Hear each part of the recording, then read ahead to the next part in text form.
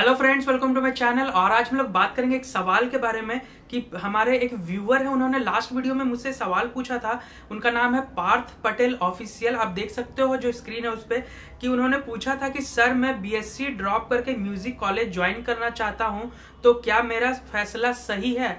तो चलिए इसी के बारे में आज हम लोग थोड़ा डिस्कस करते हैं कि किसी भी हम लोग जो फुल टाइम काम को कर रहे हैं, या तो हम लोग जॉब कर रहे हैं, या फिर हम लोग पढ़ाई कर रहे हैं, या फिर किसी काम को कर रहे हैं तो उसे छोड़ करके म्यूज़िक पे आ जाना, क्या वो सही है, इसके बारे में थोड़ा डिस्कस करेंगे। और आपके पास भी ऐसा कोई इंटरेस्टिंग सवाल है तो आप नीचे कमेंट बॉक्स पे पूछ सकते हो तो मैं ट्राई करूँगा नेक्स्ट वीडियो उसी टॉपिक पे बनाने के लिए। और अभी तक आपने मेरे चैनल को सब्सक्राइब नहीं किया तो प्लीज़ मेरे चैनल को सब्सक्राइब कर लो, और बेल लाइकन को प्रेस कर दो, ताकि जब भी मैं कोई नया वीडियो अपलोड करूँ तो आपको उसकी नोटिफिकेशन सबसे पहले मिल सके। मेरा ये मानना है कि किसी भी एक चीज़ को छोड़ करके और जो म्यूज़िक पे पूरी तरह से आ जाना, ये भी बहुत सही बात नहीं है। आप जो चीज़ कर रहे हो, उसे कंटिन्यू रखो पार्ट टाइम में धीरे धीरे करके आप ये जो जर्नी है, उसे करते रहो। क्योंकि ये ऐसा कोई चीज़ नहीं है कि जिसमें सर्टिफिकेट की ज़रूरत पड़ती है। आप जाकर के कॉलेज में पढ़ाई करो म्यूज़िक के बारे में तो ही आपको यहाँ पे जो चांस मिलेगा बॉलीवुड में चांस मिलेगा, या फिर आप सिंगर बन सकते हो। क्योंकि ये पैशन से रिलेटेड चीज़ है।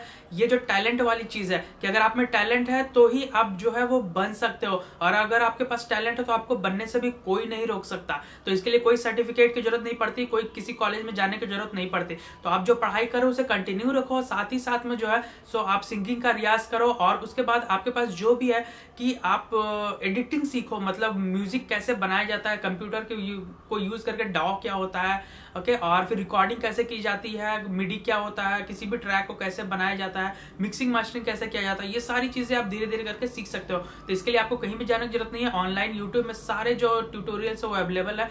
तो मैं जो सजेस्ट करूँगा जिस सॉफ्टवेयर की वो एफएल स्टूडियो आपको ऑनलाइन मिल जाएगा। आप उसको कर सकते हो। आप, आपके पास डेस्कटॉप या फिर लैपटॉप होगा ही तो उस पर आप जाओ और उस पर वर्क करना स्टार्ट करो उसको इंस्टॉल करके। और बहुत सारे जो ट्यूटोरियल है, वो पड़े हुए हैं। यूट्यूब पे आप उनको देखो, बहुत ही आसान है। कोई उसमें बड़ी चीज़ नहीं है। धीरे धीरे करके आप छोटे छोटे ट्रैक्स बनाना स्टार्ट करो। उसके बाद जो कवर सॉन्ग्स हो गया कवर सॉन्ग बनाना स्टार्ट करो। यूट्यूब पे अपलोड करना स्टार्ट करो। उसके बाद क्या है कि आप जो छोटे मोटे जो काम हो गया आपके एरिया में किसी को कवर सॉन्ग बनवाना, किसी को रिकॉर्डिंग करवाना है, किसी को शॉर्ट मूवीज़ में बैकग्राउंड म्यूज़िक डलवाना है तो ऐसे बहुत सारे काम जो आते रहते हैं ऑफिशियल वर्क भी होते हैं ऑफ़िस में प्रेजेंटेशन होता है, उसके लिए वीडियो रिकॉर्डिंग होता है वीडियो एडिटिंग होता है तो ये सारी चीज़ें आप सीखते जाओ धीरे धीरे करके म्यूज़िक बनाना बैकग्राउंड स्कोर क्या होता है, वो सारी चीज़ें सीखो सिंगर बनना है आपको तो सिंगिंग में आप ध्यान दो डेली रियाज करो डेली दो दो तीन तीन घंटे रियाज करो, और साथ ही साथ आप बेसिक करो, उसमें आप तीन साल इन्वेस्ट करोगे तो तीन साल तक आप जो सिंगिंग है सिंगिंग को करो तो जैसे ही आपका बीएससी कंप्लीट होता है तो आप उसके साथ ही साथ सिंगर भी बन करके रेडी हो जाओगे।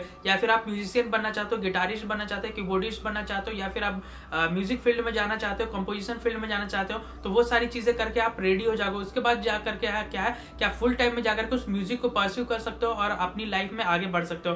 तो मेरा यही मानना है कि आपको कोई भी चीज़ छोड़ना नहीं चाहिए और कोई भी, किसी भी चीज़ को बीच में जाकर के ऐसे मतलब उसका दरकिनार करके, उसको साइड में करके किसी नए चीज़ को स्टार्ट कर नहीं करना चाहिए। तो आप उसे भी कंप्लीट करो, पहले उसे कंप्लीट कर लो, उसके बाद क्या है, साथ ही साथ जो है पार्ट टाइम में करके इसे करते रहो, जैसे वो कंप्लीट होता है, और आपको लगने लगे कि हाँ मैं फुल टाइम इस पे जा सकता हूँ तो इस पर फुल टाइम स्विच कर जाओ।